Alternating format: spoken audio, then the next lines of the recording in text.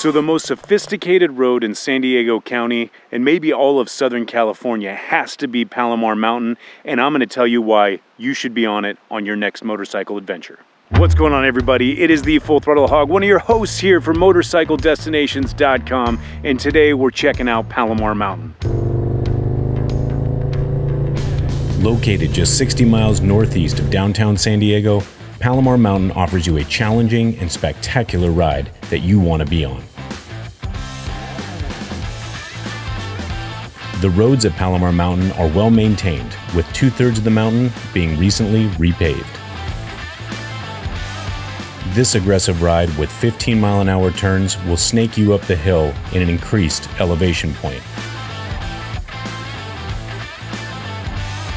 At 10.1 miles, Palomar Mountain is going to be a absolutely beautiful yet dangerous style of road with switchbacks going all the way up the mountainside.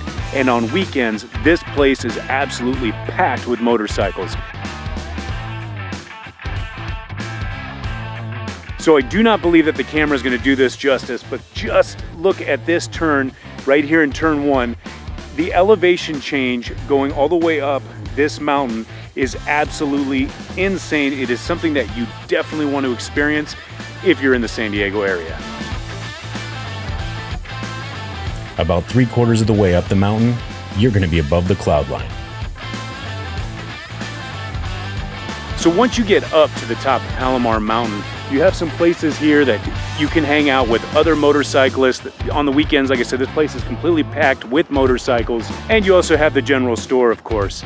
But here we are, we are at the top. The observatory is gonna be back over this way. There are two different ways to get into Palomar Mountain to the top, the eastern entrance and the southern entrance. We took the southern entrance, which is more windy, and then you have the eastern entrance.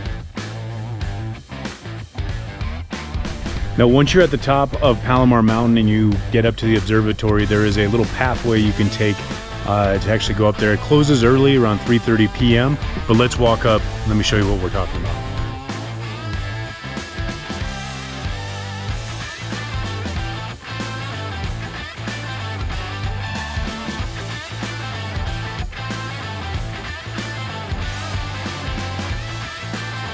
So don't forget that every day we're working really hard to bring you guys a new destination spot at motorcycledestinations.com. If you guys want to check out another great destination spot, you can click on this video right here. Folks, we will catch you on the next one.